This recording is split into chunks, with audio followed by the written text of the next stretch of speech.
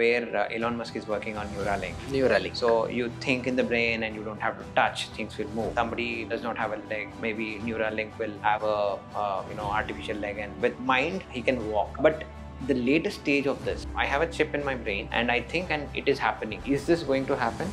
Neuralink already exists. They are doing phase 3 trials and human trials, phase 3 or phase 4. Okay. Where it is showing results. Brain is very great system. We use only 2 to 3% of our brain. Even Einstein used only 5 to maybe 7%. 95% of the brain and what it does, we still don't know. And Neuralink is based on what little we know. Imagine what we don't know and when we will know it and what all these can do for our future. It is unbelievable. The brain is beautiful. And imagine if we are able to stimulate some part and a person without a leg, he can start moving his artificial leg by thinking. It is unbelievable.